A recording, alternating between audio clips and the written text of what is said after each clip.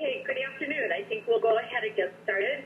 Um, I want to welcome everyone and let you know that this is the final presentation in our 2012 Local Government Tele-Institute, uh, Tele-Institute program. Excuse me.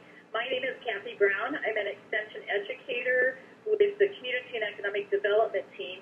I'm based in Fulton, Mason, Peoria, and Tazewell counties. Um, today's program, Siting and Permitting Wind Farms, presents a great model of University of Illinois Extension's programming with an emphasis on local programs that are focused on the future for communities. University of Illinois Extension's reorganization created a whole new structure and new opportunities for collaboration in programming around critical issues that face Illinois communities. Understanding the impact and the opportunities for wind energy has, has been and will continue to be an issue of critical importance for individuals, business, and government. This um, program that we're going to be participating today represents coordination of this issue-based and ongoing interdisciplinary extension program within the university as well as with outside agencies and institutions that continues to be a part of, of our outreach efforts. Today's program will bring together, brings together community and economic development programming and energy and environment educator teams within the University of Illinois Extension. And we're also partnering or collaborating with the Illinois Wind Energy Group that's based at Illinois State University in today's program. I want to say a special thanks to um, both of my colleagues, Zach Kennedy, who is a community and economic development educator um, based in Champaign, Ford, and Iroquois County. Um, Zach is our uh, technician extraordinaire today, and he is handling uh, all of the, the technical aspects of today's program. He has, uh, because we're recording today's program, everyone's lines, except for those who are presenting, are, are muted. And we do that um, not to stifle conversation, but more so to control the environment for recording purposes we have this year for the first time begun to um, actually record the programs as they're um, being presented. That allows us to post this information on the University of Illinois Extension's website for viewing anytime by other officials who weren't able to participate in the live program. And we'll continue to market that opportunity. Um, the, the um, host for today's program will be Jay Solomon. He is an extension educator in environmental and energy stewardship, and he is based in Jo Daviess, Stephenson, and Winnebago uh, counties. We'll um, be sure to provide you with the actual uh, website at the end of the program, again, to remind you that you can share the information with other members of the county board um, by going to um, web extension illinois.edu, L-G-I-E-N, and you'll find this recording. So help us by making sure that you mute your phone by pressing pound 5, and there will be opportunities to ask questions um, throughout the program, but we're encouraging you, as we have all year, to put your questions in writing in the chat box, if at all possible, or um, ask to uh, unmute your phone. You could also uh, type a little note in the chat box letting the, the facilitators know that you have a question. And so we, we do want to hear from you. and We do want you to be engaged in the program, but we're going to try to control for the background noise as much as possible. Let me turn over the program to Jay Solomon, who will actually provide um, more information on the content of today's program and give a more formal introduction of our our presenters today with the Illinois Wind Energy Group. Jay? Thank you, Kathy. Glad to have a chance to join this group uh, representing the Energy and Environmental Stewardship uh, team. Uh, glad to have a chance to collaborate on this program and put uh, this information out there for our county officials and others who are interested in knowing what's going on, knowing what the resources out there are. Uh, don't want to take a lot of time from our presenters. We've got a, a pair of very experienced and very knowledgeable presenters. Uh, know who will be able to fill the time here and, and will provide a lot of the information that you're looking for. Um, I want to start out that we're going to talk primarily about utility scale, and if utility scale is predicted, utility scale wind is predicted to continue to grow in this area. Uh, given the the current uh, renewable energy uh, ideas that are out there, uh, some of the policies that are out there, uh, there's a lot of opportunities that I know that Dr. Loomis and others are going to talk about uh, as to why that's going to continue to grow. Um, we look, we're going to try to give you a balanced uh, look at what uh, the information that's out there is, and also what some of the issues are and the resources that are available to you. Uh, one of the things that, as part of the Energy Environmental Stewardship team, want to remind you of, if you're looking at ordinances, either city or county ordinances, recognize that uh, while these ordinances may be focused a lot at large wind, uh, they may also have an impact on your local homeowners' options for individual or small scale uh, wind applications as well. Uh, and we've run into some interesting questions uh, on that uh, at, over the time of how these regulations may apply. So with that, we'll move forward. Uh, I'll go forward toward introducing our first speaker. Uh, Dr. Dave Loomis is with Illinois State University Center for Renewable Energy. Is the director of it. Someone I've worked with quite a bit as a member of the Illinois Wind Working Group. Dr. Loomis' background is in, is in economics, brings uh, that view of the the why and what's driving the industry here uh, for us. And as you can see, there's quite a bit more information about Dr. Loomis on the screen. Uh, but in favor of getting things moving, I'll turn this over to Dr. Loomis and let him give his presentation uh, to, to, get us started off this afternoon. Dave? Jay, thank you very much. I appreciate uh, you um, your introduction, and and uh, it has been great to uh, to work together. So I'm going to look at, at wind farms in your community and, and try and focus uh, the remarks uh, later on towards um, you may encounter uh, as a county board or, or uh, your zoning board of appeals um, as you look at large-scale uh, wind farms.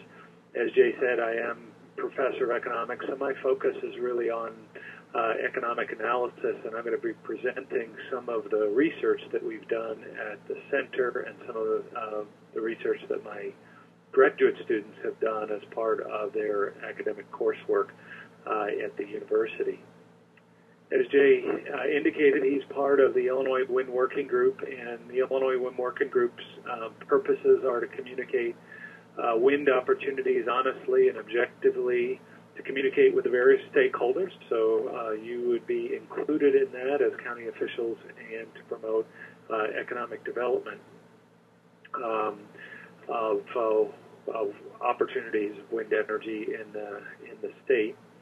There's uh, 34 different state wind working groups across the country. They're part of Wind Powering America, the U.S. Department of Energy's program uh, to promote um, wind energy. And um, we uh, did receive funding uh, from the U.S. Department of Energy to run the wind working group.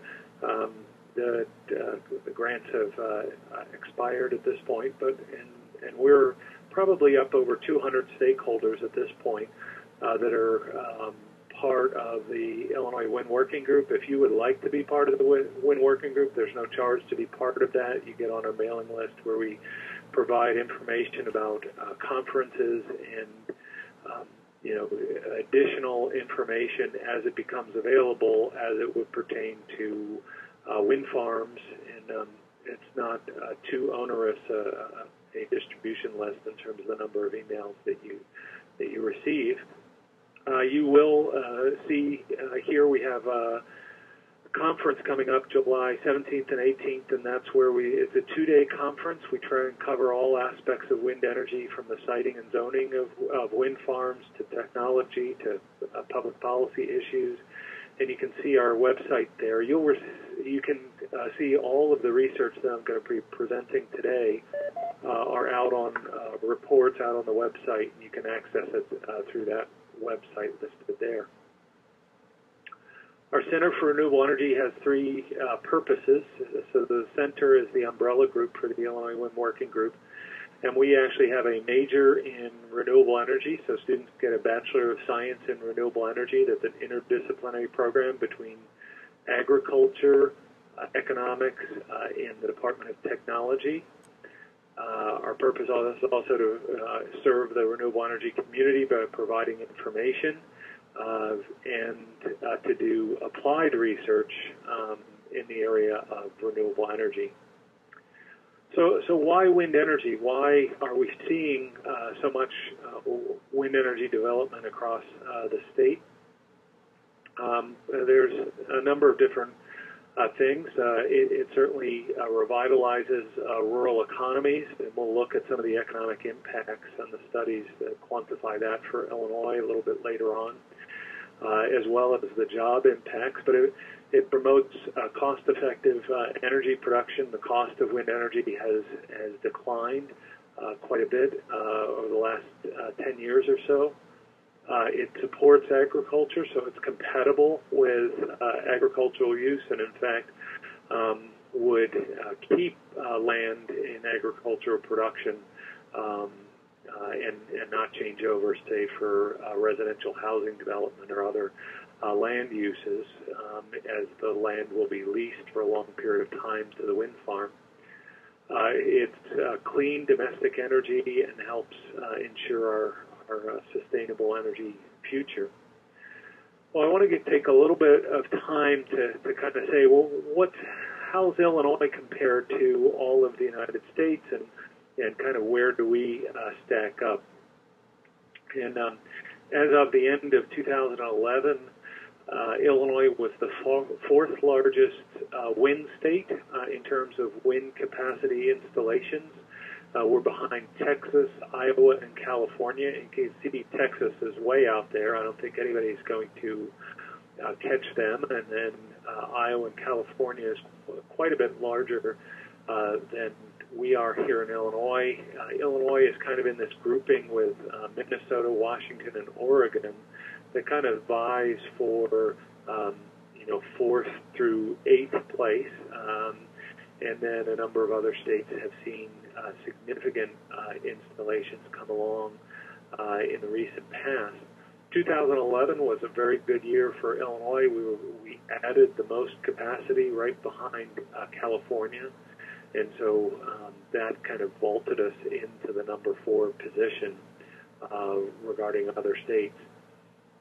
Uh, if you look at that just geographically, the, the thing that I think that stands out uh, at you in this map is how uh, the white states are really clustered around the southeast uh, United States. And the reason for that uh, is really has to do with the wind resource. You need steady winds uh, that are uh, good enough to support wind energy development because the electrical power that you're going to get out uh, of that, or the, actually the energy that's contained in the wind, uh, if you will, is a cubic function of the wind speed. So, for example, if you were to double the wind speed, or better yet, if you had two different wind farms and one wind farm had all other things equal, I had double the wind speeds, average wind speeds, you would be getting eight times the amount of electrical output out of the one um, that had double the wind speed. And so wind speed is critically important uh, to electrical production, and electrical production is, is critically important uh, to uh, revenues. So as far as a payback, uh, it really looks at wind speeds, and um, the southeast has much lower uh, wind speeds uh, than other parts uh, of the U.S. It's not just wind speeds that, that uh, you need, but you also need uh, available transmission capacity.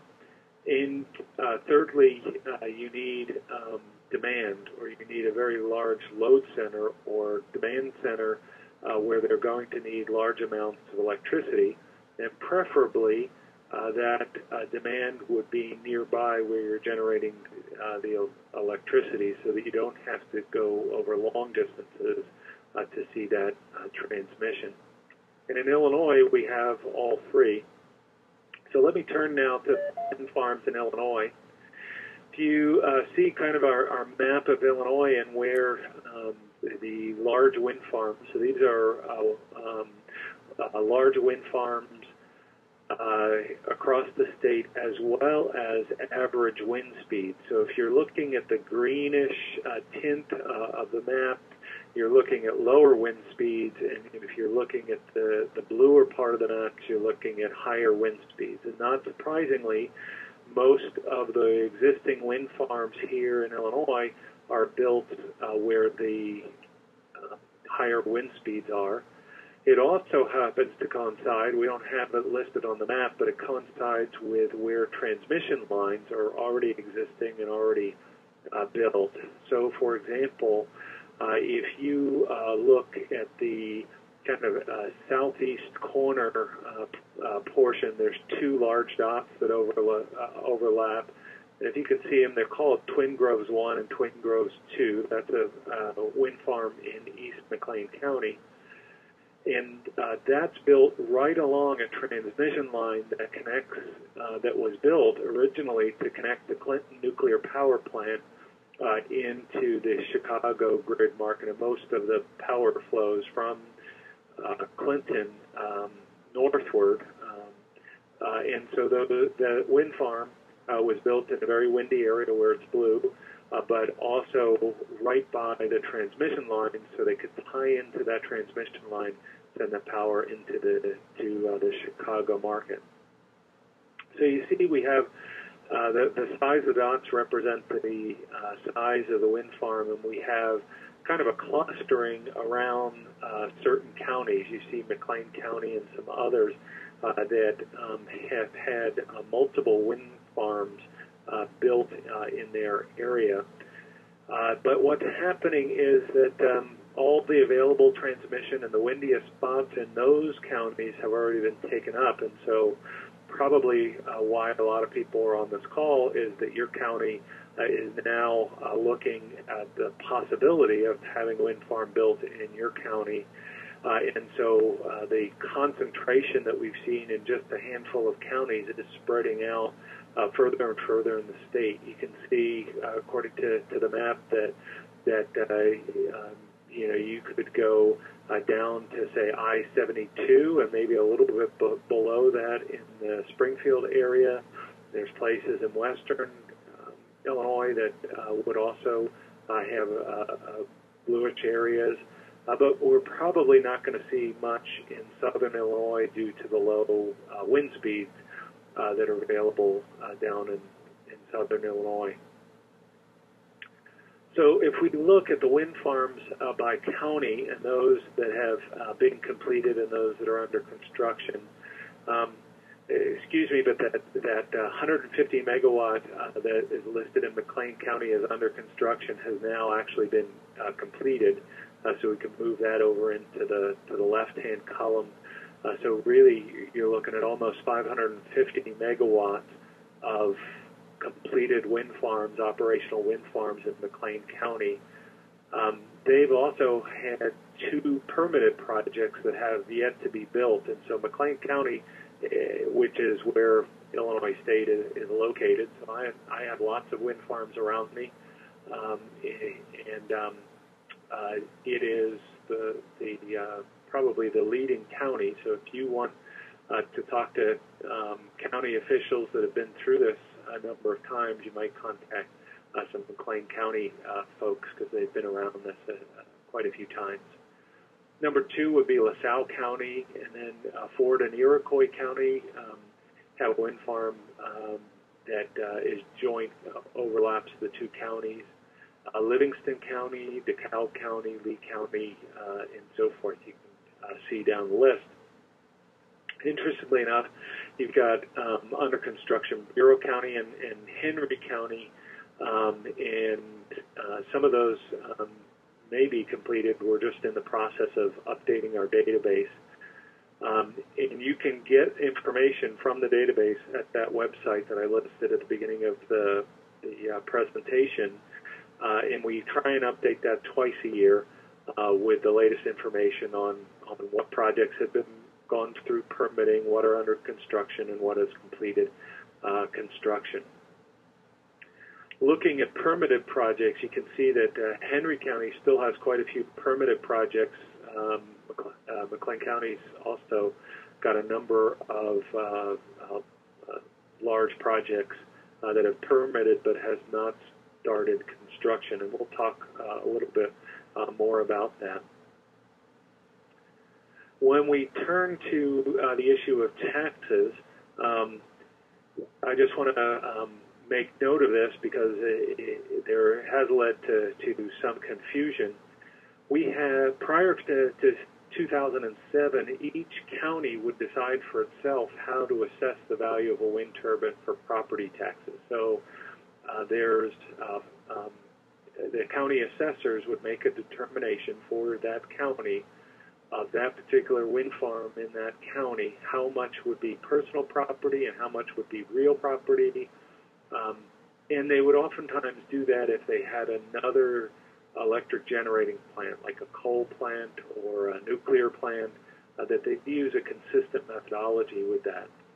Uh, but it would it led to different outcomes in different counties, uh, and the wind developers weren't sure uh, exactly how they were going to be treated for tax purposes, and that created difficulties for them in terms of their financial modeling in the counties like the uh, certainty of knowing exactly how it was going to be assessed because then if you have your your tax rate you can say exactly how much you're going to get in taxes from a wind farm moving uh, on board. And so in 2007 uh, there was uh, Public Act um, 95-0644 that gave uh, just a set evalua- evaluation of the project based on the number of uh, megawatts. So it's based on capacity uh, of the wind farm, and it's uh, uniform across uh, the state. So there's no more, in a sense, discretion on the part of the county assessors, uh, but everybody knows exactly how it's going to be treated for tax purposes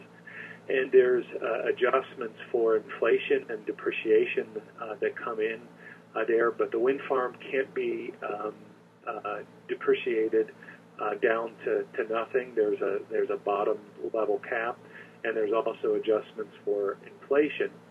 And that law, as as most in Illinois, had a sunset provision, uh, and so it was due to, to sunset. But in April of 2010, it, that um, Public Act was extended, and so that's covered through um, 2016. But if it ever does expire, so say in 2017, it's not as if the wind farms will won't pay any taxes at that point. What'll happen uh, is that if it were to expire in 2007, it would uh, revert back to the county assessor's office to make a determination of what the valuation of that particular wind farm is in that county and they could use this public act as, as a guideline, or they could use their own methodology in terms of uh, real and personal property and what they've done in other uh, cases. But in in either case, they're going to pay taxes at the county tax rate.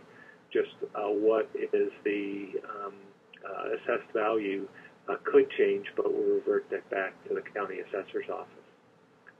It's just a formula that takes a look at some of the issues to, to, to say if you had uh, a cost basis just for a two megawatt uh, capacity uh, turbine, uh, single turbine, um, it would uh, go up based on the trending factor. That's the inflation factor, uh, but it would also go down based on uh, depreciation allowance. Uh, and so those two can uh, they, they work at odds with one another, but but basically um, you move uh, along and, and um, um, take into account both both factors. I'll turn now to some of the research that we've done in this uh, last year. I won't be able to cover uh, all of the different uh, research reports, uh, in in great detail. But as I said before, the the uh, PDF files of all these research reports uh, are out on our website for you to take a look at. The first report really deals with the RPS, or what's known as the, the Renewable Portfolio Standard. So one of the drivers of demand in Illinois is that we enacted, uh, as part of the Illinois Power Agency Act, a renewable portfolio standard. So the renewable portfolio standard is a mandate for the investor-owned utilities to buy an ever-increasing amount of their um, electricity from renewable resources. And so that act puts into place uh, what's the definition for renewable energy, and in fact has different percentages. So there's a requirement for that that 75% of that renewable energy has to be wind energy. And then more recently, they've passed additional legislation that says that 6% of that renewable energy base has to be uh, from uh, solar. But we, we are marching uh, forward uh, under this renewable portfolio standard towards uh, a requirement that 25% of our uh, electrical usage of residential and small business customers of investor-owned utilities would come from renewable resources. So it's it's known as 25 by 25, uh, 25% renewables by the year 2025. Now that excludes uh, some critical elements. It does not include um, under the renewable portfolio standard. Does not the law does not mandate co-ops uh, or municipalities uh, to buy renewable uh, resources. Some of them do voluntarily, but they're not part of the renewable portfolio standard until recently, if you went with a competitive supplier, uh, that was not included under the renewable portfolio standard, uh, but that has since been changed so that um, if you go with a power marketer, that would change. Um, and so uh, uh there's there's some kind of nuances of that, but basically the headline is that, that we're going to have 25% of our electricity from uh, renewable resources by 2025 and we're I think between five and six percent um, in the last year or so uh, in renewable resources, and that percentage increases uh, by one to two percent each year until we get up to 25 percent by the year 2025.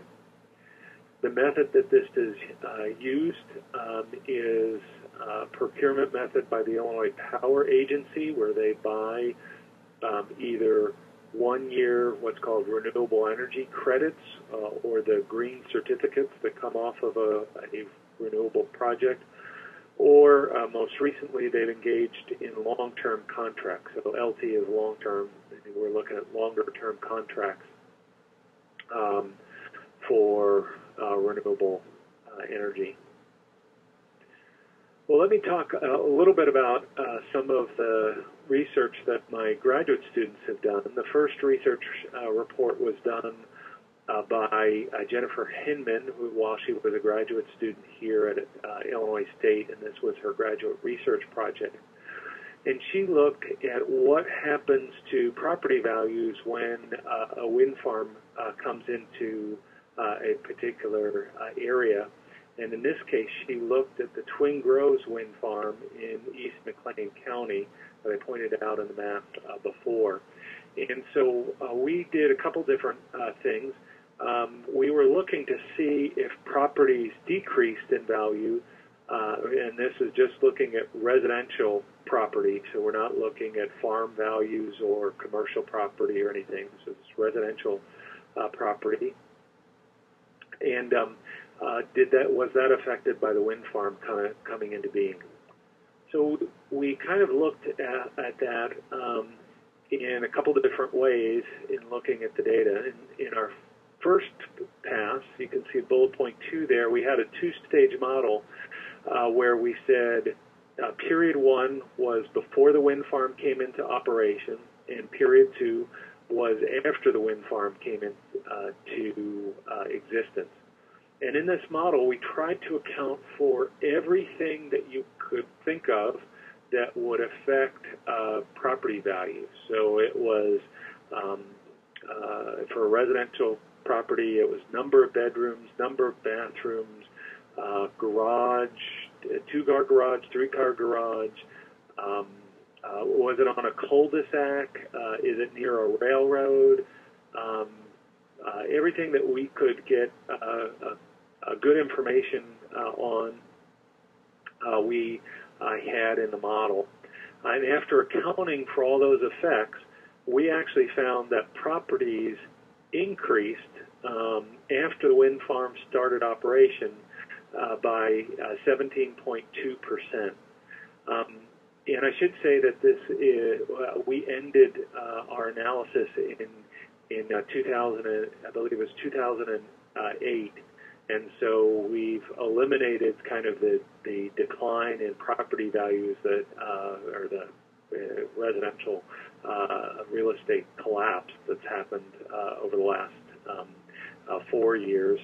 Um, but uh, we, we were actually very surprised by that result. We thought that we would um, um, either find a, a decrease uh, or a, a no uh, impact at all. So we tried to, to look at it in a couple in a different way, and we said perhaps uh, there's a um, a different way that we could look at this in terms of the timeline, where we said well, what ideally we'd like to, to look at is when the wind farm first, when, when people first heard that there might be a wind farm coming into existence, um, that, that um, we could look at that because that might have an impact uh, on, on things. And so we could not get uh, that information. The best we could do in terms of a verified date uh, was to say when the wind developer or when Twin Groves filed with the county for its permit. So in the three, three-stage model, we have the time before, um, way before the wind farm um, was asked for a permit. The middle period, stage two, is between the time that they filed for a permit till through construction uh, until it became operational. And then period three is after um, the wind farm was operational. And what we found was that um, uh, relative to this first period before the, the uh, permitting, that um, in the second period, properties actually depreciated. They went down by 11.7 percent um, after the county permitted, but before operation in this middle period. And then afterwards, uh, it became operational.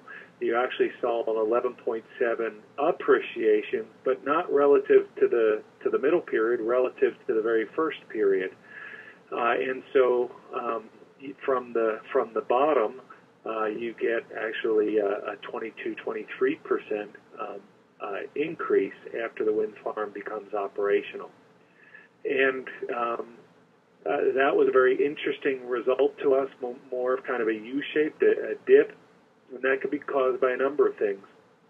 One, it could be caused by a kind of a fire sale. People worried about a wind farm coming in, and so they sell at, at uh, reduced prices.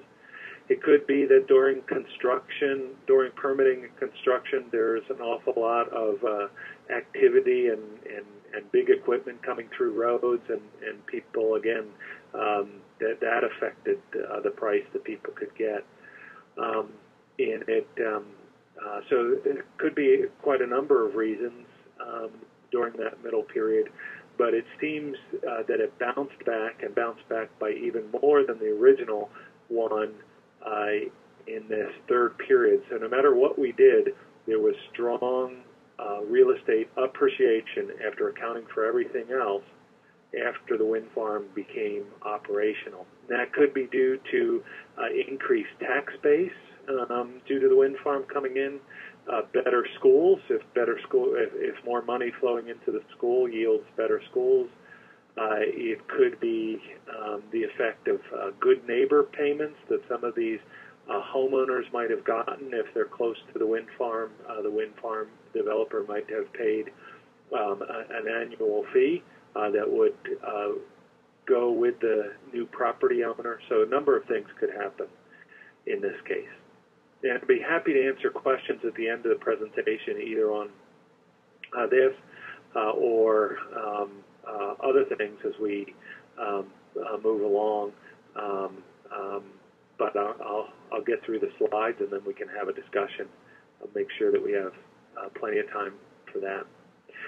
We did a second property value uh, study. Uh, another graduate student needed another research project to, to do to get uh, his master's degree. And so Jason Carter um, looked at, at Lee County. And uh, in Lee County, there's three different wind farms uh, that were uh, um, built at different times, and so we could in, in different, slightly different areas. And so uh, we got uh, sales data uh, of homes that had sold during um, during this time period. Uh, we had um, close to, to 1,300 real estate transactions going back from 1998, um, but in this case we, we included through 2010. So it does have some of this uh, effect in the later time of just um, real estate you know, price collapse uh, in things that, that could uh, affect um, uh, the results. But in his case, he, he found again uh, that um, residential property values were not affected uh, by the presence of these wind farms.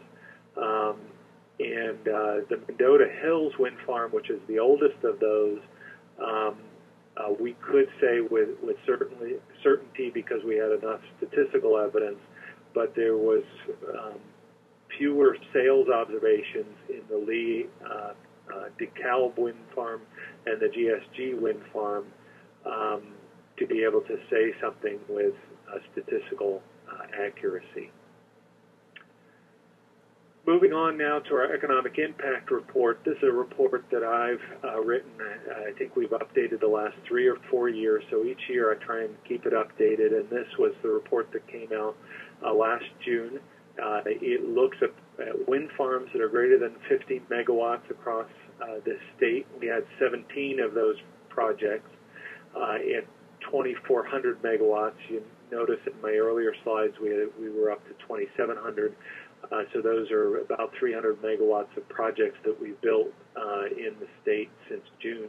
And I used a model that was known as the Jobs and Economic Development Impacts. It, it's based off of IMPLAN, which is an economic uh, impact uh, software, but that's a JEDI model or, or Jobs and Economic Impact uh, model looks at uh, particularly at energy projects, and I use the wind uh, module, but they have ones for solar and natural gas and uh, and other types of uh, uh, electrical generation sources.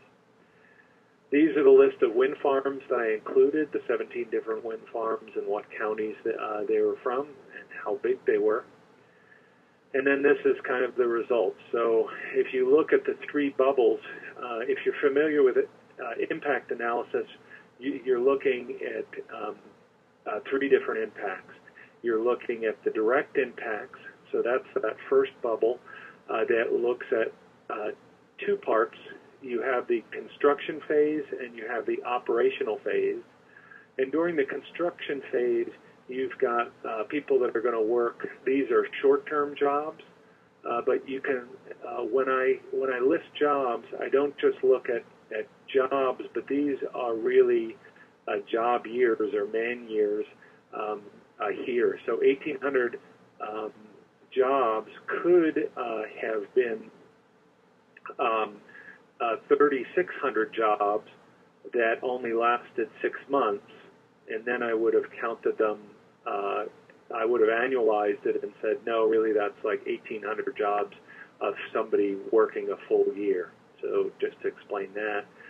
Um, and then uh, during the uh, construction phase and direct impacts, these are people who are doing uh, laying foundations, pouring concrete, laying rebar, uh, working the cranes on site directly to build the wind farm. Uh, and similarly, the operation phase, these, when we count a job, these are largely wind uh, turbine technicians that are working on the wind farm for the wind developer or wind owner um, with things.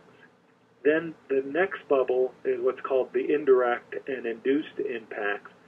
The indirect uh, impacts really deal with the turbine and supply chain impacts. So if we were to take a wind farm in Illinois and uh, for example, the gearbox that that was contained was built from a gearbox built by Winergy that happens to be in Elgin, Illinois.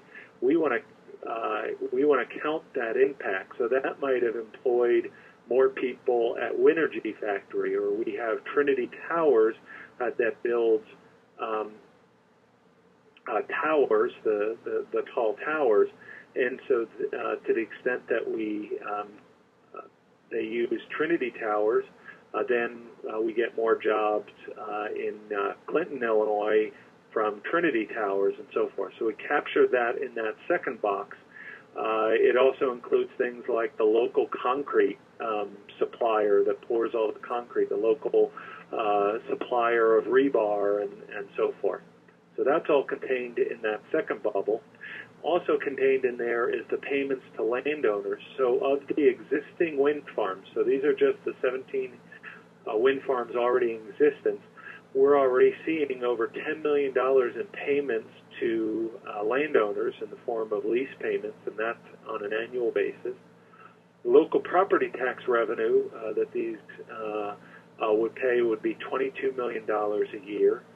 Uh, and then there's a, it supports an additional over 11,000 construct, construction jobs during the construction phase uh, and a, uh, 458 local jobs during the operational phase. And so you get the total economic impact of both the direct and indirect uh, impacts and take that over the lifetime of the wind farm that we estimated to be 25 years and you're looking at a total economic impact to the state of over $4 billion, over 13,000 construction jobs, um, and uh, almost 600 uh, local long-term jobs uh, created uh, from the wind farms. We're also doing a study on decommissioning costs, um, and as you can see, the decommissioning costs here, we, we've just started gathering the data but decommissioning costs vary widely. Um, and we're working on doing some type of analysis where we can make sense of normalizing this and explaining why there's such a wide variation. We were hoping that you would see kind of some economies of scale. So if you have a larger project, the cost per kilowatt to decommission that project uh, would go down uh, but there doesn't seem to be a very clear relationship if we look at it graphically. Uh, so this is still a work uh, in project, a work in progress. So we're still, in fact, I met with my student today to try and um, uh, push this project forward. So we can talk about decommissioning costs, but I don't have um, a report uh, out there because uh, we're still a work in progress. So if we look at trends for 2012 and, and beyond, uh, there is the issue on the federal side of the production tax credit. The production tax credit is the largest um, um, of the uh, subsidies that wind farms uh, get uh, to be built, and it's due to expire uh, at the end of this year. So a wind farm, in order to qualify for the production tax credit, needs to be operational by uh, the end uh, of uh, 2012. And since it takes, uh, with some wiggle room, um, about a year to build a wind farm, you can probably do it within six months, but a year uh, is, is fairly comfortable um, with construction delays and weather and so forth. We're not likely to see a whole lot of new construction started now until the production tax credit gets extended and we're likely to see delays in new construction started for each quarter that it takes for the, that production tax credit to get extended, if indeed it does get uh, extended. There has been talk in the past of some type of federal renewable portfolio standard, but uh, it does not. Um, uh, I haven't heard a lot of talk about that recently. Uh, we are also have some regional issues in terms of the Midwest. Uh, we need some new transmission capacity. So as we look across, uh, MISO is the Midwest ISO, and PJM uh, is Pennsylvania, New Jersey, Maryland. It is where the Commonwealth Edison territory is, and if you're in Ameren territory downstate, it's in the Midwest ISO, and both are looking at expansion plans, uh, particularly for uh, wind energy and wind farms. And then we also have problems because Illinois is a competitive state, a restructured state, where our utilities are no longer under rate of return regulation. Uh, but some of our neighboring states, Iowa and Missouri and Indiana, are still under rate of return regulation, where they have guaranteed uh, recovery of uh, their uh, investments in terms of ratepayer rates. And that uh, puts us in an unequal uh, playing field when Illinois wind projects compete with Iowa wind projects or Indiana wind projects. So, uh, as far as our state RPS requirement, we had what's called an in state preference. So, there was a preference put into the law to buy uh, wind energy coming from Illinois wind farms, and that has expired. And so, um, Iowa and Indiana wind projects compete directly with Illinois wind projects for Illinois ratepayers to, to pay for this uh, renewable energy. Uh, and that that causes some problems in terms of uh, building projects here. Uh, as well, we have an Illinois Power Agency. That's the one that that actually buys the renewable energy, and they have changed uh, directors, and there's some uncertainty about how they're going to do their procurement, how they're going to do their buying, and whether they're going to do any long-term contracts. And recently there was a law passed known as the Smart Grid Bill or the Energy Modernization Act uh, that um, uh, for Ameren and ComEd to upgrade their facilities uh, to what's called the smart grid, and that might have an impact on renewables, both large scale and uh, small scale renewables. So with that, I will um, uh, finish uh, my re- remarks, and we'll turn it over, back over to, to Jay for kind of moderating the question and answer time. All right, thank you, Dave. Um, I guess at that point, this point, uh, are there uh, seeing a few questions here uh, from from the group? If there are others who have questions, please type them in uh, or let us know that you have questions so we can, can open your mic up. Uh, there were a couple of them. Jay, let's, let's go ahead and, and field the questions. Uh, Kathy had asked uh, quite a few uh, excellent questions, and I'd like to circle back to her bio um, as well, as we had inadvertently skipped over that in the beginning. So. Okay, that would be good.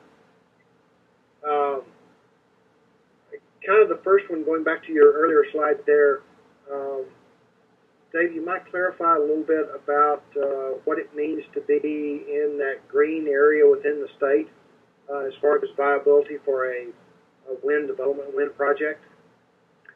Yeah, um, so this just gives you a um, um, a, a, first pass at saying uh, is wind energy viable or not viable. So in all cases, you really have to do measurement on site because it really does vary. So it's a generalization.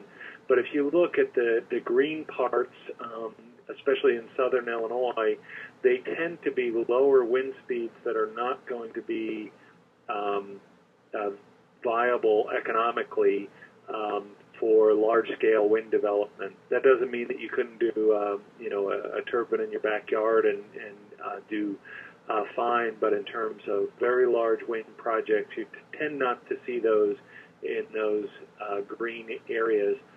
And um, uh, the National Renewable Energy Labs kind of classifies things as far as uh, different classes of wind. And in order to be economically viable, you really need to be in what's called class three or class four wind. And where most of the good wind sites in Illinois are right in between class three and class four to get up to class five, you need to be like in North and South Dakota where it's really, really windy. Uh, but this is economically viable. But in, in southern Illinois, you have more in the class two wind that's not going to be generally economically viable. Right, and, and I would kind of help you with that, or build on that, in that uh, that doesn't mean that there's not some pockets or smaller developments, but as a, as a general rule, it's not real conducive to development. Um, Correct.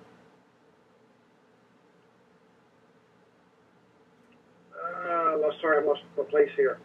Uh, within your study on the land on the uh, land use, did you look at anything on uh, uh, farmland values? Um, we did not. We only looked at uh, residential um, uh, development and didn't look at um, farmland. And in fact, if there was uh, a home that was not kind of didn't have a separation um, between you know a, a separate deed or, or, or uh, property identification number for the the home versus the farm, there was no way for us to separate out the value of the farm versus the value of the of the residence. So we excluded that from our analysis. So it was just homes uh, that that might have you know uh, considerable land surrounding them, but but it was primarily uh, residential and not zoned agriculturally and not jointly owned. So we excluded that. And I will say I've gotten some questions and people asked about if we've looked at how long those um, um, the, the property stayed on the market, and that's an excellent question. It may have been that that um, homes um, stay on the market longer uh, in the presence of a wind farm uh, than not, but we couldn't get any reliable uh, data on that to do the analysis. So we just looked at uh, you know sales data. There were arm's length transactions that we could get from county records. Okay. Once again, limited by some of your resources. Yeah. Right. Yeah, we just didn't didn't have the data. Um,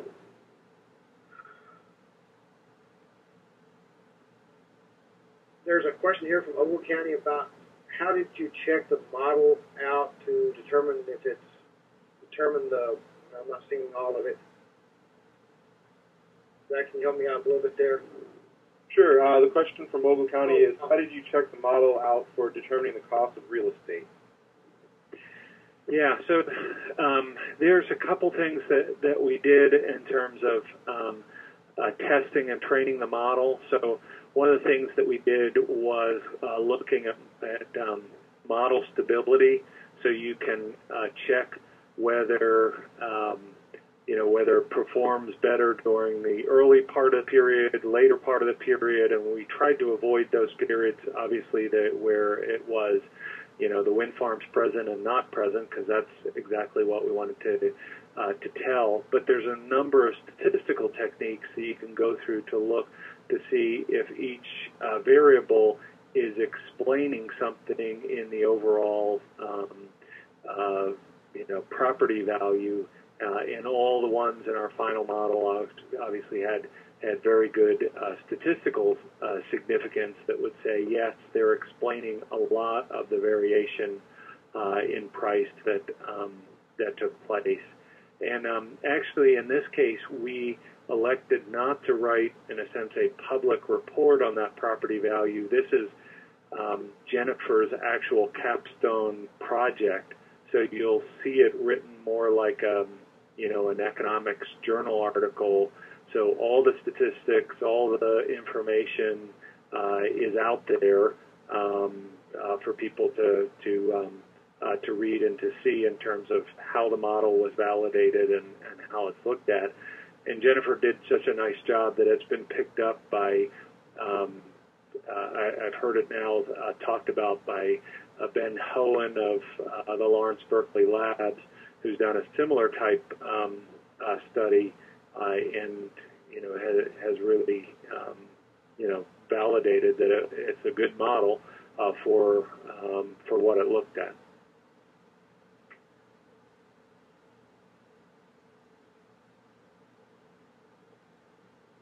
Um, Kathy here had asked a question about uh, noise and strobe, and noise and uh, strobe effects. Has there been any studies in Illinois? You want to address that one? Yeah, there. Um, most of what I've seen in terms of uh, county ordinances have have uh, looked at the Illinois uh, Pollution Control Board uh, standards for uh, for noise uh, effects, and to my knowledge, I haven't seen any um, noise studies that have been done of the nature. We haven't done any at um, at ISU. Uh, and the, the trick there, I think, is that each uh, noise study needs to be done uh, on a very localized basis.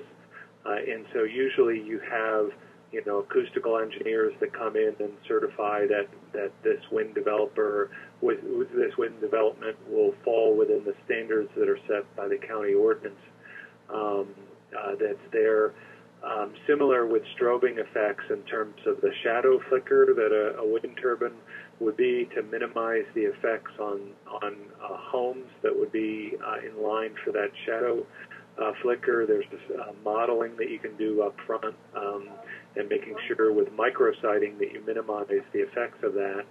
Uh, so, but I haven't seen any general study. Usually, each wind farm has as an expert that, that testifies to that particular um, wind farm's um, uh, you know strobing um, uh, effect of shadow flicker and the and the noise. Okay, shift gears a little bit. Uh, decommissioning question here. What's the most common form of decommissioning plans uh, used in the state? Is I guess I would ask the question: Is that something that Bill maybe is going to look at? I'll let Bill uh, chime in. I don't have a good answer to that as far as there, there's a couple things that we've looked at decommissioning.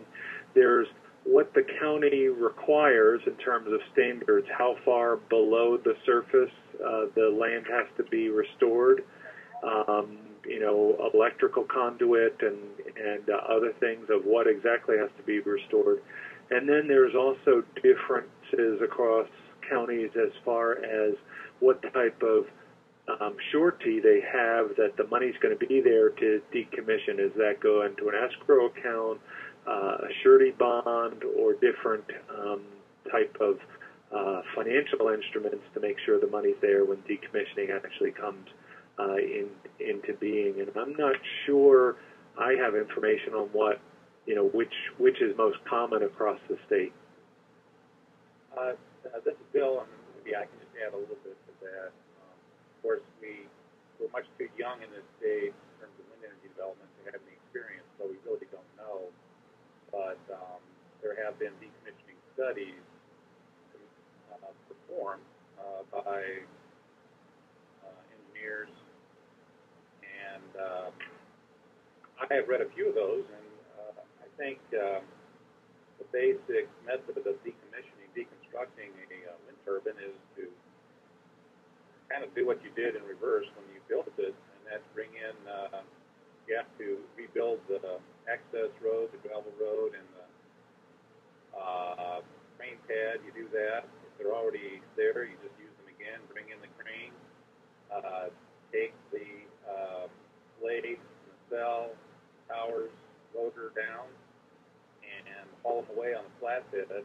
Um, and then with foundation, as Dave said, normally four feet below the surface is a sort of standard depth to which the wind company is required to uh, remove the uh, foundation. And, and that actually can be done through dynamiting um, or through other methods of breaking up concrete and rebar. And then um, the uh, tower and other turbine parts can either be recommissioned by being rebuilt and used somewhere else or, or cut up and sold for scrap. All right. Thank you, Bill. Um,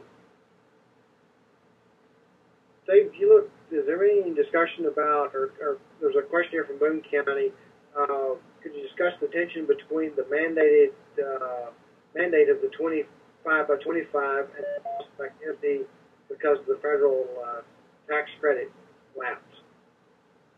Yeah, so uh, it's a it's a really good question. Um, presumably, uh, if the production tax credit does not get renewed, that uh, will mean that the um, the purchase of wind energy, renewable energy, will become more expensive because the wind developer uh, won't be receiving the production tax credit in the form of a subsidy, so they'll demand higher prices, and the, um, uh, that will uh, then, um, you know, the the Illinois Power Agency will see higher prices.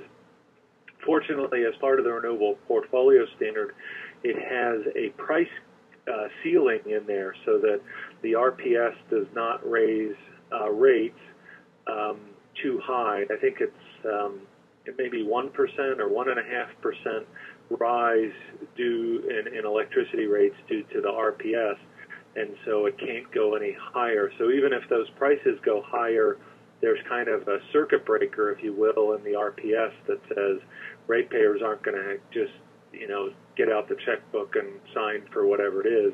There's a maximum that ratepayers pay for renewable energy, and they just buy as much as they can uh, for for the maximum price. And we might not hit that 25% by 2025 if, in a sense, we can't afford it. If those circuit breakers come in, and you might see that uh, in some years if the production tax credit doesn't get renewed.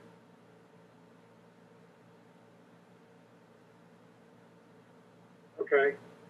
Um, there was a question here about uh, what what efficiencies have you used in determining the finances that you you've used here? You've indicated in your, your studies as far as uh, well, efficiency as far as your what's been presented. Um, I'm not sure uh, I understand the question in terms of what uh, efficiencies I, have uh, um, okay, we may, need to get, we may need to get some clarification from uh, someone in Ogle County then. Um, quick question here, I think can be answered. Also, uh, have any turbines been erected in floodplains? Um, and I don't know. Um, one way or another, I don't. Uh, I don't think so, but I don't know. Okay. Um, and one that I will answer, and there was a question here uh, about this. Whenever you were talking about megawatts, that's the output capacity of the wind farm, not the number of towers. Uh, the towers, the turbines that are out there, most of them are in the uh, somewhere between 1.25 and 2.5 megawatts per tower, depending on which turbine is being used, which particular turbine is used in the farm. I'll clarify that. With that, um, I would say that we move to a five-minute break. Uh, we'll pull this back together at uh, about 4:10, which I guess will give you about six minutes actually, um, if that's all right. So uh, we'll start the introductions of the next presentation. If you've got additional questions, uh, go ahead and type those in. Uh, we'll try to forward those to Dave or see if there's any particular ones that we need to cover. With that, thank you. Thank you, Dave, for your presentation. Thank you.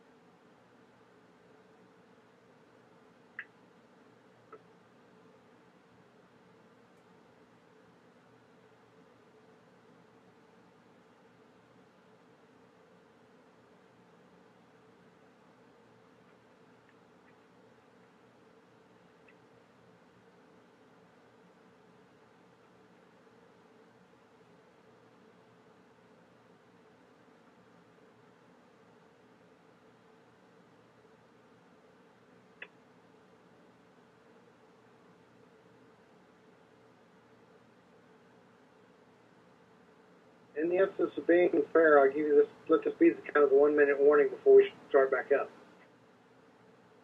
So we'll start, be starting back up in about a minute.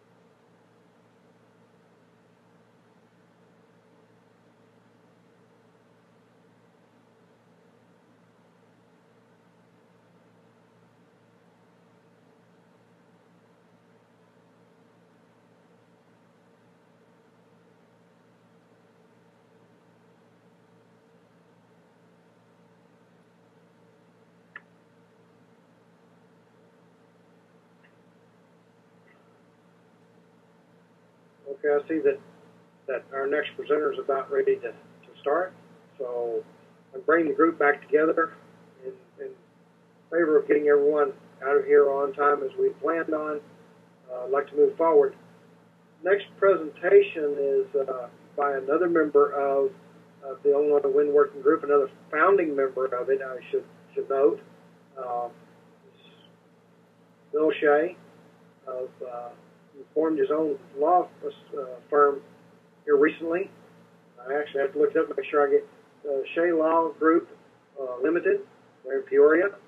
Uh, had the opportunity to work with Bill uh, quite a bit over the last few years. Uh, volunteered his time to work with us in, in providing information to landowners and helping discuss this issue. Uh, he's got uh, quite an interest in renewable energy, and especially the legal aspects, uh, working with industry side, but working a lot with uh, the consumer side or the, or the, uh, the landowners and others as well. Uh, it's always a privilege to work and pleasure to work with him. Uh, and you've heard his voice already, so I will turn this over to Bill if he's ready as soon as uh, get our presentation up here. So, Bill very much, Jay. Hello, everyone. Um, first of all, I wanted to uh, make one comment about uh, Dave Loomis' presentation. Um, he referenced several uh, research reports and studies that uh, he and uh, some of the students have done, and I wanted to uh, give my plug for those and, and recommend those to anyone who has an interest in the subject at all well worth a read. I especially want to uh, recommend the research report on the Illinois RPS. Uh, it goes far beyond the RPS and actually talks about um, the history of the relatively recent history of public utilities in the state and how power was purchased before deregulation and how it was after, and then now the, the Illinois Power Agency and its role how the RPS or Renewable Portfolio Standard. Very, very well researched. Um, in terms of uh, my role in this uh, business, um, I enjoy uh, being a member of and working with uh, others in the, the working group, uh, starting with Dr. Loomis and his staff and Jay. And Bill? Yes need to could ask you to speak up just a little bit. You apparently don't have a real good as good a connection today. Some of them are a little. Some are saying you're a little soft. Okay, is this better? Better. Okay, sorry. Um, I um, um, I don't represent any wind companies, um, so I wanted uh, everyone on the call to, to know that. My perspective is from uh, representing landowners um, that's my area of concentration uh, in connection with wind energy projects. So I've got a lot of experience with um, negotiating and documenting these leases and easement agreements. And when I do that, um, you know, in a particular county for landowners, I always make it a point to make sure I understand the local uh, wind ordinance and permitting practices of, of a lot of you on this call and your uh, organizations. And then um, I also do my best to stay current with the industry in general and what wind companies doing and, and how their projects, you know, what the little drivers for their projects are, because that helps in terms of um, doing a good job for landowners. Um, I've also done a little bit of uh, consulting with a few of the state attorneys around the state who um, get charged with uh, responsibility for helping advise county boards on wind ordinances, and sometimes they um, can use um, little extra help with that, so I've done a little bit of that as well. All right, um, I'm going to cover a few things that um, Dr. Loomis uh, covered, so I will probably gloss over some of these things that you've already been told about. Uh, just as far as background, um, it, it is helpful to understand um, when you're trying to regulate this as a local county regulator or otherwise some of the factors favoring wind power. Obviously, we've got um, the wind, which is um, in a sense free and uh, it's endless. It's just the problem is it's it's intermittent and not constant. Uh, and wind power has the uh, advantage of not having uh, environmental emissions and, and very little to no water consumption, which differentiates these types of uh, generators from other traditional uh, generating plants. Um, turbine efficiency or the blade efficiency and, and the other parts um, of the turbine are increasing in, in efficiency, and so that's that's helping uh, make wind power more um, viable. And then we got the government incentives, of course, that everyone knows about, starting with the production tax credit. Uh, a few photos. Um, again, I'll thank uh, Dr. Loomis's staff for these. Um, Matt Alderman, I think, put these, and they're from uh, a couple projects in central Illinois. Here's the foundation after it's constructed but before it's covered up. Um, this is a more common type of foundation, the, the so-called spread mushroom foundation, rather than the vertical one. And this is uh, what remains um, to be seen after uh, it is covered back up with dirt. Uh, here is a, a picture of a rotor, goes to the top of the tower, and to which the blades attach. Uh, the nacelle, where the intelligence is, um, the generator and the gearing and a lot of other mechanicals um, for a uh, turbine. And then uh, this isn't a real good picture, but uh, this shows the pieces of the tower and the blades laying on the ground. Keep uh, going too fast. The tower interior.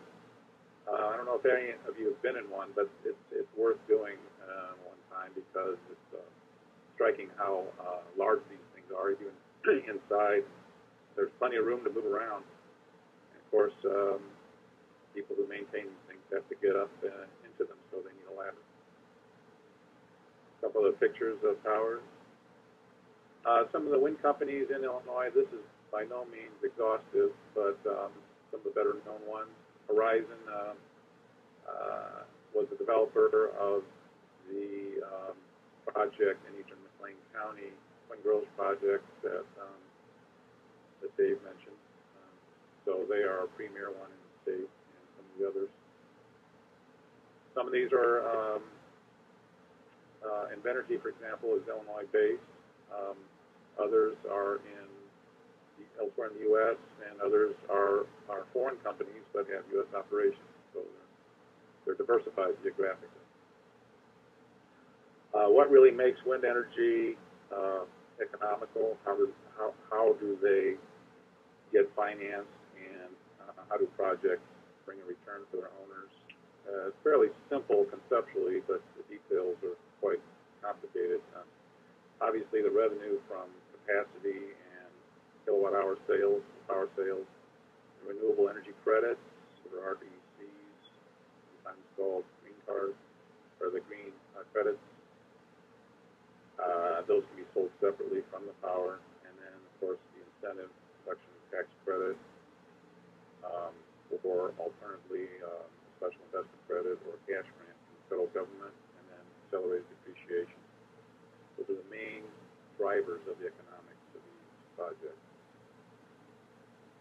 Uh, far as the market structure, again, I won't dwell on this because, um, Dr. Loomis did, so I'll just go on. The renewable portfolio standard, again, um, as, as Dave said, um, this was, uh, adopted in two thousand seven, and the Illinois Power Agency administers it, and uh, certain minimum percentages of, of power that is, are purchased have to come from renewables, and most of that from, from wind. Um, and we should also note that, um, because Illinois is a competitive market, um, you know, utilities are playing a, a lesser role in actually the sales of electricity to end-use customers. And more of that role is being uh, taken over by competitive retail uh, marketers. Um, they're called in this state alternative retail electric suppliers or ARES. And they have slightly different rules on uh, meeting uh, portfolio standards, but very similar to the utilities. Uh, right now, we've seen um, a decline in the market, not just in Illinois, but elsewhere. Uh, not as much new development. As Dave said, uh, the uh, in-state preference for the renewable energy credits en- ended mid last year, so now uh, the Illinois utilities can, can uh, procure their um, RPS requirements from out-of-state providers, not just Illinois. And there's been a general overall market price decline, a drastic decline in the, in the price of these renewable energy credits. The production tax credit due to expire at the end of this year.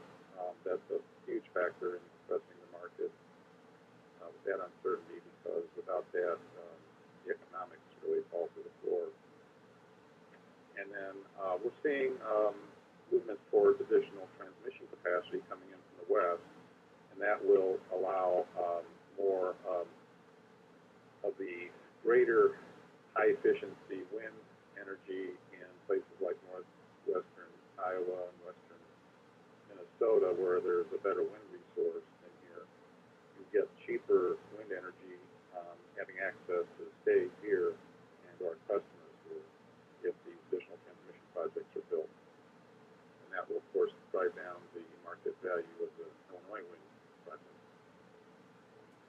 As far as uh, getting down into the subject at hand here, um, again, I, I, I am familiar with most of the um, local uh, government county ordinances and practices uh, that applies to wind projects, um, but I do that in the context of representing landowners. And what I see is a, is a tension, and for the most part, a healthy tension, not unique to the wind energy industry by any means, but you know, the local government officials have their responsibility to regulate, to control, um, and then you've got the landowners that have their uh, interests and, and, and their right of, of contract to contract with these wind companies as they see fit.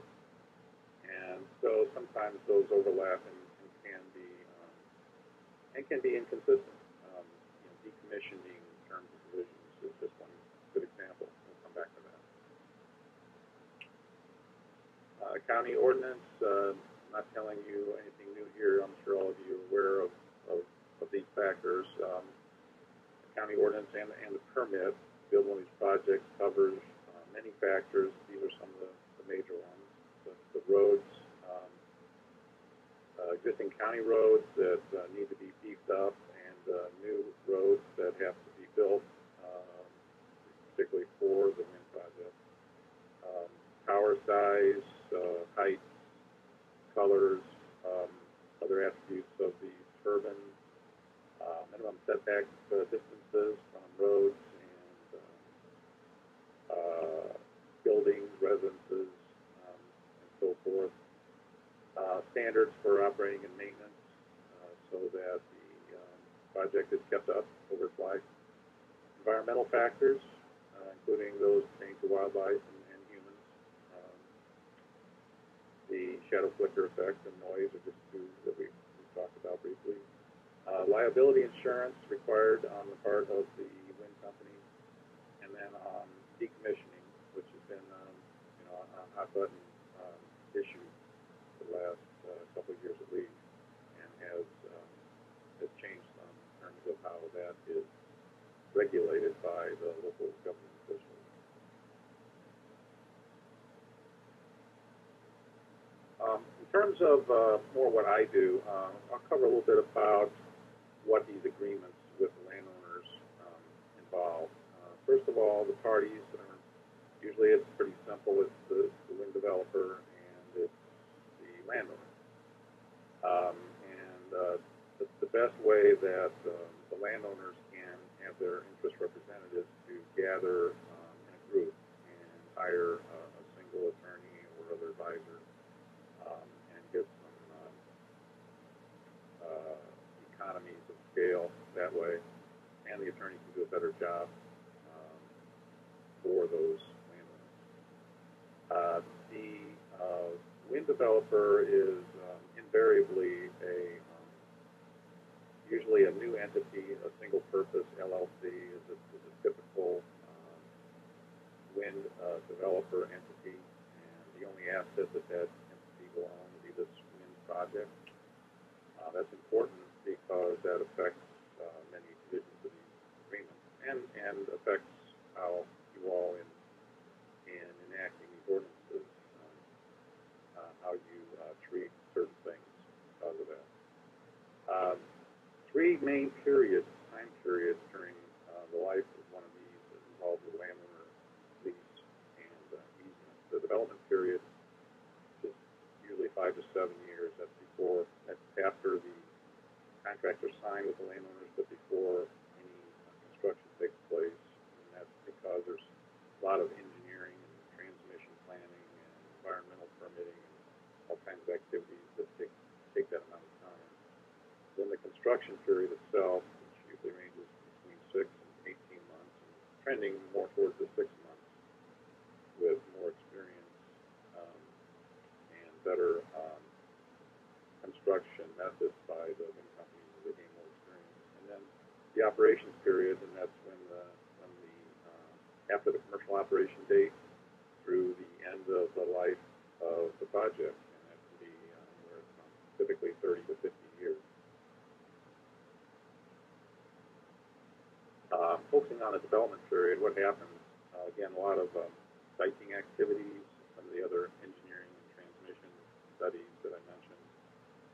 Um, there is a right uh, on the part of the uh, wind company to terminate the project um, and terminate the uh, lease uh, agreement with the landowner. Um, they always insist on that right, and um, so in effect, what this does is to give the wind company an option um, until they decide to go ahead and start construction. They really have an option because they can get out of their obligations under this contract uh, during the development period. And usually during this time, there is not, not much intrusion on the landowner's land. During the construction period, this is when the maximum intrusion occurs, and this is when um, the uh, landowner's land gets torn up. There's probably no better way to describe it. Um, it's it's a construction site, and uh, so uh, the, the the landowner should uh, assume that he will not be able to grow crops during that season that the construction occurs. Access roads are put in, um, underground cabling with uh, trenchers and equipment. Uh, turbine crane pads are built. Uh, the uh, access roads put in. The turbines are brought in on flatbeds um, after the cranes are. And there's you know the crop damage, um, if there is any crop, uh, and then compact, compaction of soil another big issue, and then uh, field uh, drain tile damage. Those are all things that have to be dealt with. We get into the construction phase. I've just got a couple construction photos here where we've got a turn lane that was put in to accommodate uh, heavy equipment, large equipment. Here's a picture of uh, a truck hauling a, a turbine uh, tower section.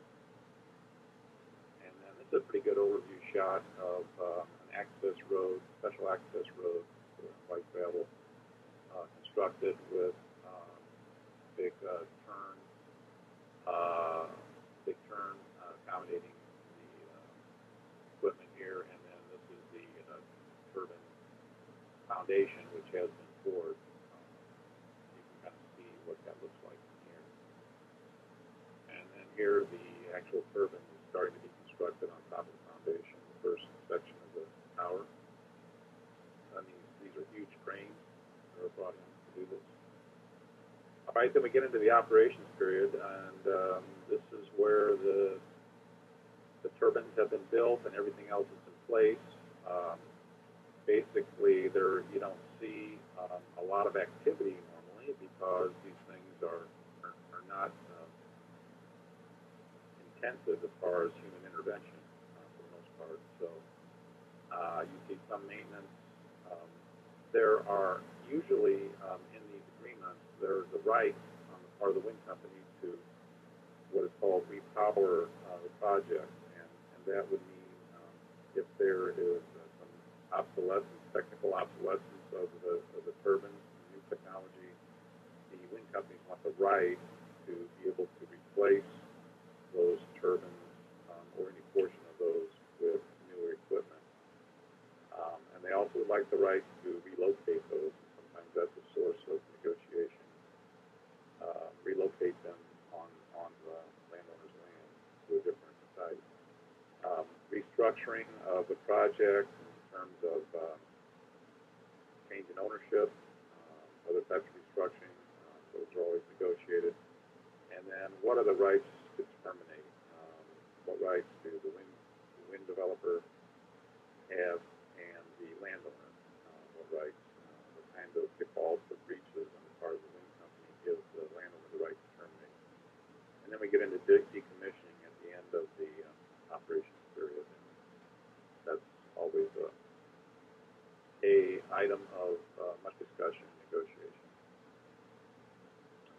Uh, compensation, uh, again, we'll, try to try to keep this short, um, not go into too much detail, but uh, to me, this is not the most. This is the thing that most you know, landowners are interested in, but to me, is not the most important uh, uh, issue in these uh, or item in these agreements. Um, but uh, nevertheless, it is important, and and, these uh, projects can be a source of um, very good compensation for the landowners, especially if they have one or more turbines on their property. But um, during the development period, that five to seven years, there's usually some sort of payment, um, often an amount per acre per year. Uh, and then during the operations period, um, that's when sort of the main portion of the revenue comes to the landowner. Um, a lot of that is uh, usually tied to the turbine, and it can be a fixed amount per megawatt per year, um, or it can be an amount that uh, is based on uh, the kilowatt hours produced by that turbine or by the entire project, and it's averaged out over all the turbines. Or it can be a uh, portion of the, of the dollar revenue achieved from that turbine. Um, oftentimes, there's also um, a payment per foot of access road or um, some other uh, method of, of paying for the access road um, being there. Uh, same thing with the underground cabling. Oftentimes there's a wind easement payment. Um, it could be so much per acre per year. Uh, that's really kind of a fuel charge. Um, in effect, a good neighbor payment. Um, I think uh, Jay may have mentioned that earlier. Uh, usually paid if there's a residence on the property, sometimes for the neighbor and usually uh, there's uh, an inflation factor. Um, and then there are some special um, special items that are compensated for, but they, these are um, not um, these are peculiar to only a few landowners. Um, you'll have overhead transmission lines coming out of the project substation to, to the interconnect with the utility. So that transmission line will only usually go across a very few landowner properties. And um, I often recommend that those be the subject of a separate agreement and, uh, because they've got special attributes that arguably should be uh, compensated for differently than the rest of the project. The project substation, um, that is um, a special item that should be compensated for separately. Oftentimes, the wind company likes to actually purchase the acreage on which they put their substation because they fully occupy it, the landowner has really can't do anything on that substation site. And then the project laydown yard during the period of construction, um, that that can be 15 acres or so, sometimes more, and that's taken out of commission during the construction period, and usually there's special compensation for that.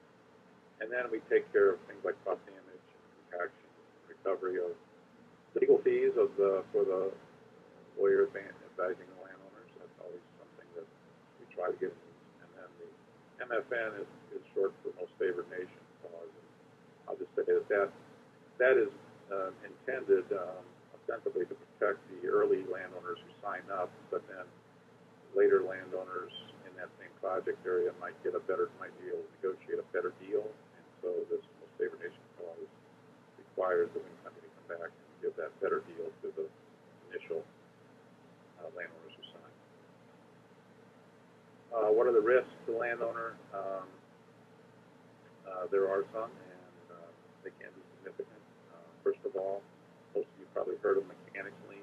Um, if a developer who uh, hires a lot of contractors, starting with engineers and, and other uh, workers who come in um, who might be employed by uh, an independent contractor who work uh, on the site for the project, and if they are not paid, then they can uh, they have a lien on the land. And of course, that would affect the landowner. So you have to have special provisions to take care of that in these. Uh, the real property taxes, uh, Dave talked about that, how that's done. Uh, but again, um, these these uh, turbines um, generate a huge amount of property taxes, and they are required um, to have their own tax ID number. So the local county counties have to do that uh, and issue a separate tax bill uh, to the wind company for that turbine. But if those aren't paid, um, then that can come back and, hurt the landowner if, you know, if to the in the extreme case that uh, turbine was foreclosed upon, sold for taxes, uh, landowners can have a problem. Uh, decommissioning is always a big risk um, because at the end of uh, the project, uh, as I said, these are always held by the wind company single purpose LLC and there are no other assets. And just because the wind company has a duty to uh, deconstruct and remove the turbines and other equipment doesn't mean that they are going to do it. Um, and if they just uh, walk away from it and leave the landowner looking for somebody to sue, um, that can put them in jeopardy. So decommissioning, um, security, financial security is important.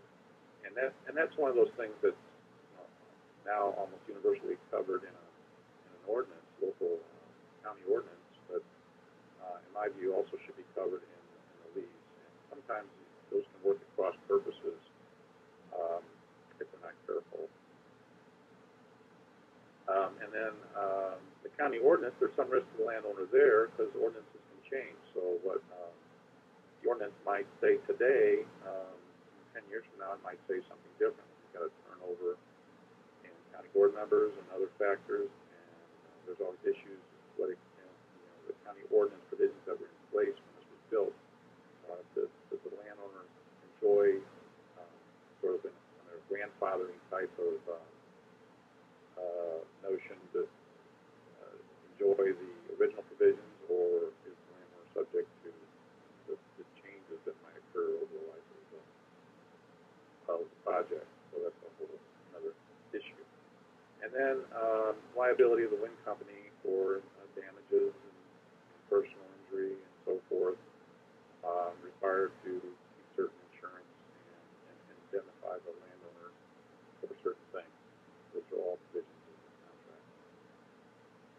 So, uh, in conclusion, um, and this is sort of my personal conclusion, I, I, I think wind energy has its place. Um, it's never going to be um, provider of, of uh, electricity, in my view, in this country, but it can be an important component and a growing one. Uh, lots of things have to be coordinated to make that happen, um, and local government officials have their part in, in doing that. So uh, it's quite a challenge, I think, to balance the various interests involved with public interest at the local level and enact the smart regulation. And I think to do that, the more that uh, local public officials can know about this, not just the company or this project, but about the, uh, the subject in general, including how, how this is regulated, uh, the better off they're going to be and the more intelligent decisions are made. So I'll stop there. We've got, uh, I think, a bit of time left for questions. Uh, I'll just turn it over to Jay and others to moderate that. Okay. Um, do we have questions for for Bill and, and with respect to the legal aspects of things that he has covered to this point? I, see that we've got some, and, and we're not going to discount the uh, questions that were asked earlier. Uh, basically in the break there, essentially to Dave. Uh, but want to give everybody a chance to ask questions Bill as well. Um, guess the question here is, Zach, am I missing any of them that you see? Or Kathy? No, I think we just have the ones that are in the box there. Okay. Well, seeing those, uh, Dave, are you still with us? Ah, we have a few coming in. I'm still here. Okay. Um, guess did we have one question for Bill? Uh, Bill, in your experience, are most decommissionings require decommissioning require upfront monies put in by the wind turbine companies? Um, well, um, I guess we, to answer that, uh, you look at it from the perspective of the landowner and what the landowner might try to negotiate, and, and then look at from accounting and what they might try to impose. Um, I think it's um, the way decommissioning financial security started off was, my experience, uh, it wouldn't kick in until say year 12, year 15 after uh, commercial operations started because it was viewed that uh, the risk um, was very low that there would be a failure of the project during that for that many years at least. And that's probably true because once once the project is built, you know the, the there's a huge sunk cost to these things. Um, a typical commercial sized wind farm, there can be four or five hundred million dollars spent before there's one penny of revenue. And once you've got that built, that's a sunk cost.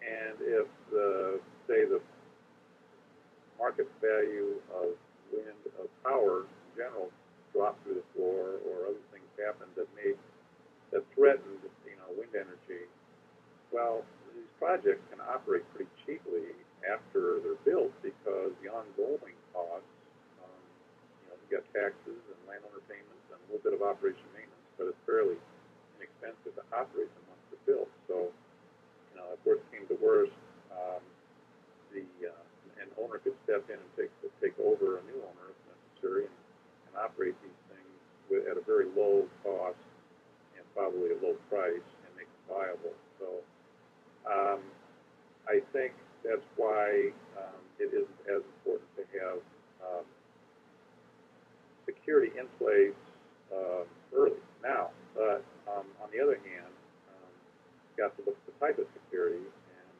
obviously a, a cash escrow is the most secure.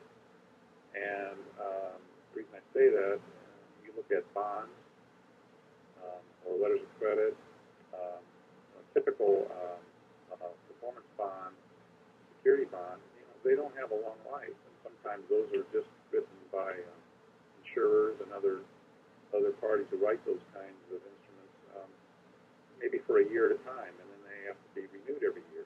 well, you know, if you get out into uh, towards the end of one of these projects, um, let's say the wind company just fails to renew it, then there's the bond is gone, and what do you have?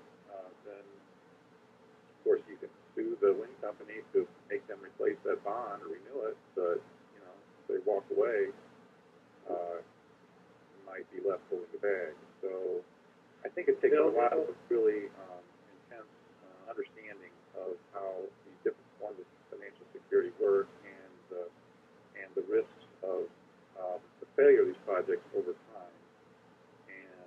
put in place you know the right kinds of security.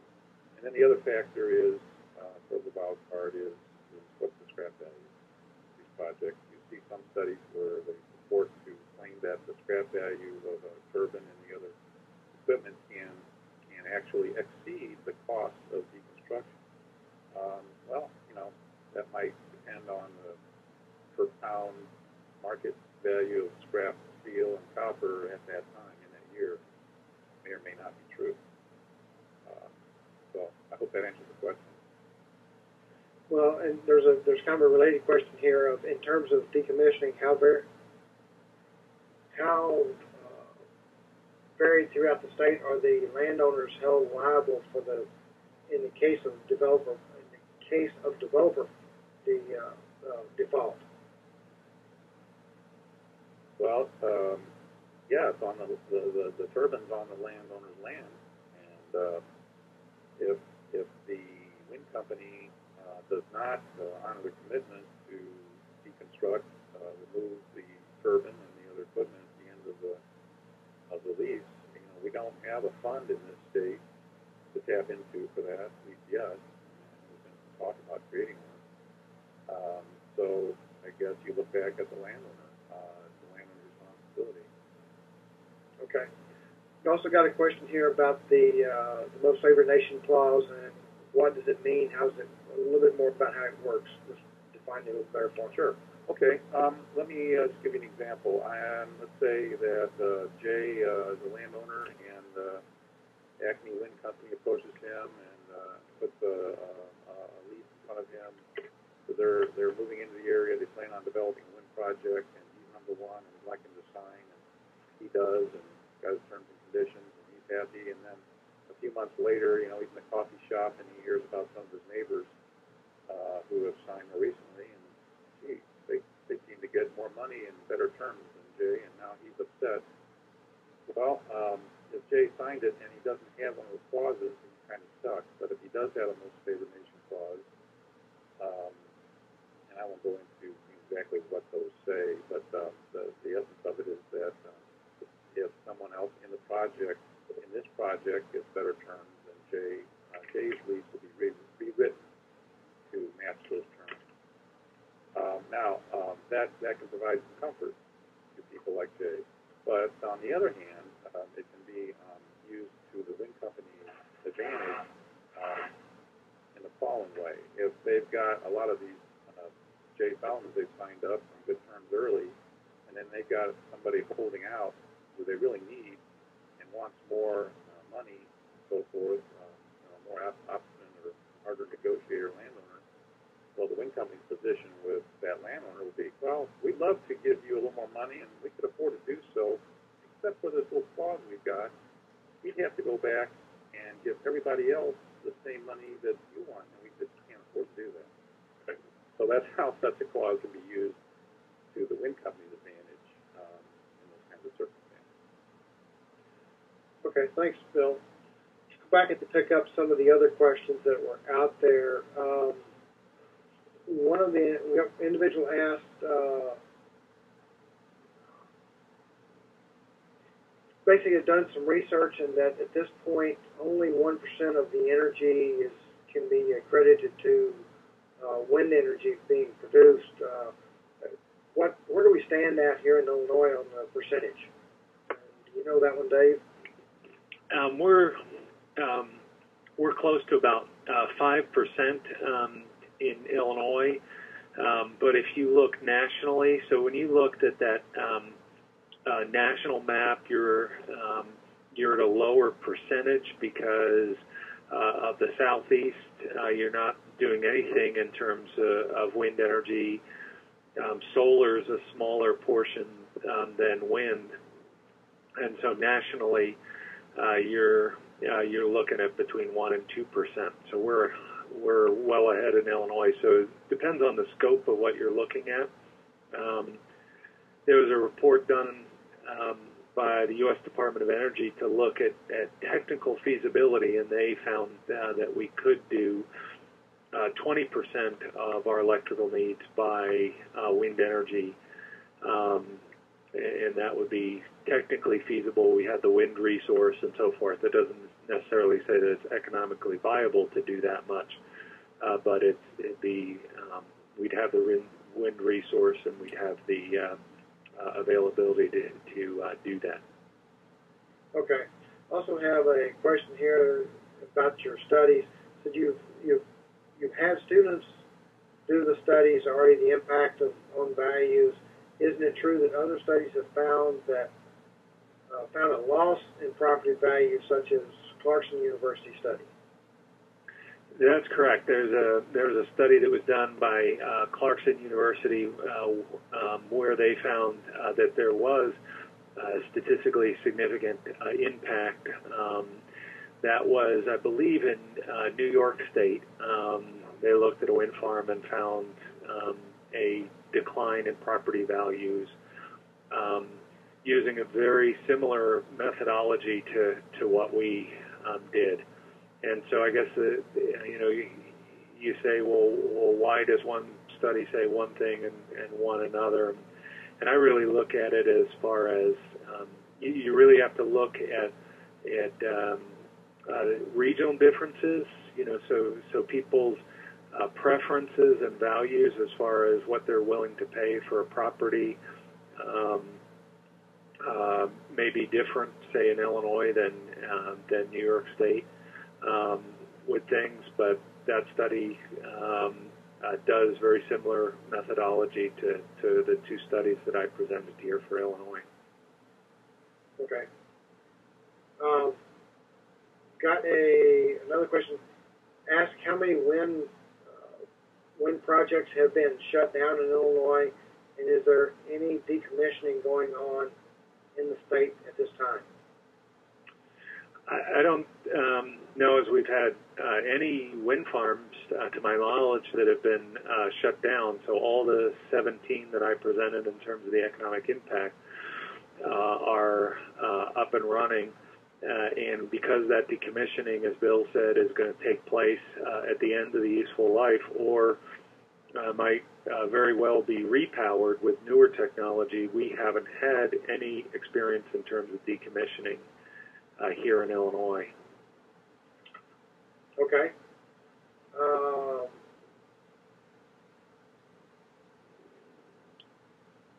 let's see here.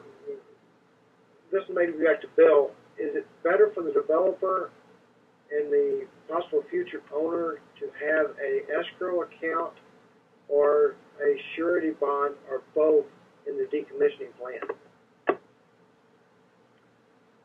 Um, well, I think a bond uh, can be fine if uh, the landowner can assure that the bond is going to remain in place until the time to take the turbines down uh, and remove the other equipment. Um, said earlier, the, the problem with bonds often is that they, they have a short life and they have to be renewed. And uh, things are going along fine. The wind company will, will get it renewed every year, and, and the, whoever writes that bond will, will do it uh, in exchange for the premium. The problem is if we get out towards uh, somewhere out there where the wind company is uh, considering uh, ending the project for one reason or they don't renew the bond, um, then what happens? Uh, so, for that reason, uh, a cash escrow is preferable, um, as, long, as long as, again, that is um, off um, off of out of the control of the wind company, off their books, can be reached by the wind company's creditors, and can only be reached uh, by the landowner that would be my bias, um, I guess.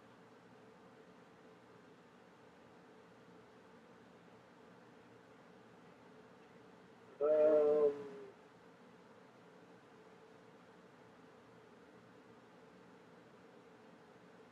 I think that's, other than I, uh, I posted a link out there. We've got some resources out there. Kathy, do you want to speak to the, what was included in some of the package, some of the information that they were able to get a hold of, uh, including the, uh, Western Illinois Illinois Institute of Rural Affairs uh, wind resource. Certainly, Jay. Um, there, I think this is a, a very strong collaborative working throughout the state on, on the behalf of, of individuals and local governments. And one of those entities that's been a really active partner in the Illinois Wind Energy Working Group is the Illinois Institute for Rural Affairs. And we, um, if you didn't get in your packet, you might ask at the county office for a copy of it, just a one-page fact sheet, and it, it's going to give you the results of a recent survey that was completed in 2011 that looks at um, what's the status of zoning around the state. And so you can see a, a really clean map that illustrates which counties have zoning that includes wind, uh, counties that have a wind ordinance only, and uh, counties with zoning only, and then no zoning. Um, the other important part of this resource is that if you go to the Illinois Institute for Rural Affairs website, you can actually um, retrieve the language for these various ordinances by county, and there's uh, direct contact information that they're using as part of their survey process. This is a really nice uh, summary for local governments to tap into. So if you didn't get that printed, uh, we will be posting it on our website and providing some links back to it. Dave, do you also have this posted on, on the um, Illinois State University's website as well? Um, which was that that you were asking whether I have posted? Uh, the Institute survey, the wind um, zoning. Yeah, we yeah we have a link out um, to Jolene Willis's uh, survey at IIRA.